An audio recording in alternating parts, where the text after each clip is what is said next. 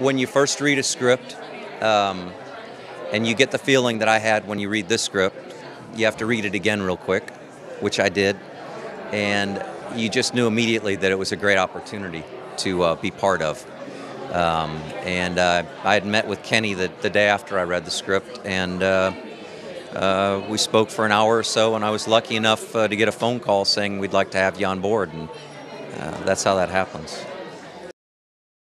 It's, uh, I think I'll, I'm listening to the different actors speak about the different characters they played and what they think it's about. So if you've seen it, uh, being my character, my character, I see it as a story of hope. So it's interesting. Everyone sees it differently, but it, in the bottom bottom line, it's a it's a human story, and it's uh, it's very beautiful.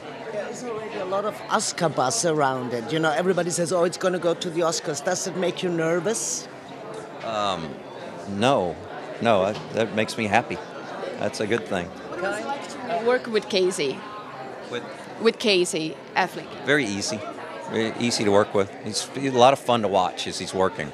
It's a lot going on, and uh, it's fun to watch him create the, the the character that he had. So especially seeing it on film afterwards, because then you really understand what the other actor's doing. While you're sitting there in front of him, you're like, ah. but then once you see it, it's like, ah.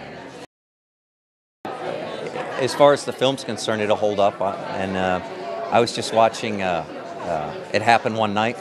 It was on the hotel room. And what year was that made? In 30, I don't know what.